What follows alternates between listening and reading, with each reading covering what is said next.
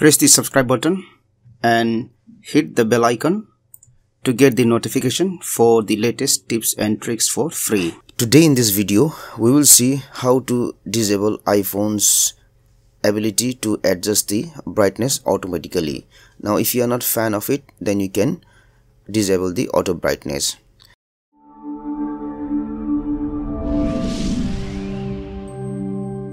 So for that one, we'll go to settings. We'll go to general. We'll go to accessibility. Then we'll go to display accommodations. Now if you see there there is an option auto brightness which is turned on at the moment. So if you don't want iphone to adjust the brightness automatically just disable this option.